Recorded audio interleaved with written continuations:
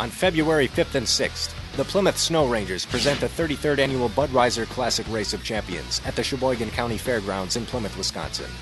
On Saturday, it's the return of the Wisconsin Kitty Cats, USSA Pro Oval Racing, and the Millennium Vintage Open Race. Make sure to see the high flying action of snowcross with the Great Northern Snowcross Series, the ISOC Regional Snowcross, and the annual Adam Musagati's Memorial Pro Open and Pro Stock races. On Sunday the 6th, don't miss the Sargento Super Cash Champ 440 with over $1,700 in prize money, and the Millennium Technologies Dash for the Cash Champ 440 with a $1,000 winner take all prize and a $250 hole shot award. New this year, the 2011 Rent a Ride Oval Race. Sign up and learn how to race and run on a track in a race on Sunday. Ride your sled to the race by taking a trail to the fair park from the old Plank Road Trail. Event sponsored by Larry's Distributing, Millennium Technologies, Sargento Cheese, and Woody's Traction and Control, reliable studs, runners, and accessories for your snowmobile.